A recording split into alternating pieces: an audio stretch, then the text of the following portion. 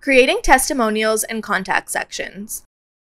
In this video, we will be going over how to create the testimonials and contact sections of your portfolio. This will involve learning how to use the Glideshow and split layout photo features, formatting quotes, and adding hyperlinks and buttons. First, we will be adding the testimonial section. Having some words from your previous employers or your clients can be very meaningful for anyone who happens across your page. Gather one or two sentences from each contact, along with their name and organization. We're going to use the Glideshow feature to highlight the testimonials in an interesting way. Begin by pulling up the layout options and click Glideshow. Again, you'll be taken to a separate page with a photo upload navigation bar. In this case, we will be choosing a relatively neutral image as this will become the background to display our testimonials. When you've chosen your image, click Save to go back to your main portfolio page. You'll see that the photo you've selected takes up the whole screen and continues when you scroll. We're going to add the quotes to the white box that has been placed over your image. Begin by clicking the plus sign in the white box and selecting Text. Create an H1 Testimonials heading for the section. Then copy the testimonials you've collected from your outline and paste into the text section on your Spark page. Click on your first testimonial and choose Quote from the text formatting options. Follow suit with the remaining testimonials until they are all formatted as quotes. We've chosen to right align the name, location, and organization of the person the quote is from on a separate line to differentiate the information. Next, click anywhere on your background photo and three options will appear. Edit photo, focal point, and delete. Here we will click on focal point and a dot will appear, as well as a small preview of what your page will look like on a mobile device.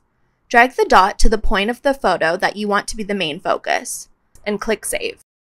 Finally, there are three alignment options for your white content box, left, center, and right align. Click and drag the box to your preferred alignment. We've chosen center. Next, we will be creating the contact section. After looking through your whole portfolio, this will be where any potential employers can find out how to get in contact with you. This will give us a chance to explore the last photo layout option on Spark, split layout. So we will create our H1 contact title, then click split layout on the layout menu. This option allows for one half of the screen to contain a photo and the other to contain a photo, text, button, or video. We will click text, create an H2 title that acts as a call to action for anyone on the site. A short line like get in touch or let's connect to get them interested in reaching out. Adobe Spark doesn't have an option to create a contact form, so below your call to action, just paste in any information you'd like hiring managers to be aware of. In general, your email and phone number should be more than enough. Even just your email address should be fine. Under this is the chance to link to anything else a potential employer may want to see, such as a LinkedIn profile. We will learn to do this in two ways. First, we will learn how to create a link as a button, then as a hyperlink.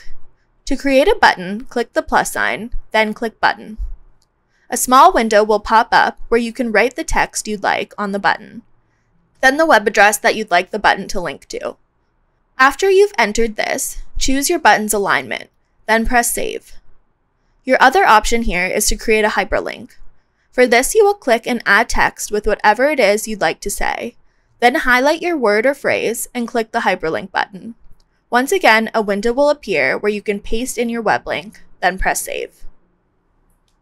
Lastly, you'll add a photo to the other half of your split layout. Click the Add Your Image button. The Add Photos navigation bar will appear on the right-hand side of the screen. Click Upload a Photo and choose the image you'd like to represent your content section. We recommend a professional image of yourself or something related to your work. Click anywhere on the image and two options will appear, Focal Point and Replace. Choose Focal Point and once again a dot will appear on your image. Drag it to your face or wherever you'd like the image to be focused. Press Save in the upper right corner to see your completed contact section. There is a button in between the two halves of the section.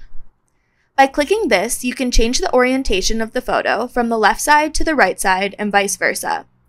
Once you're happy with this, you've officially completed your portfolio. In the next video, we will learn how to preview and publish your final page. Here's a preview of what your testimonials and contact section should look like when they're completed. To see yours, click the preview button in the top menu bar.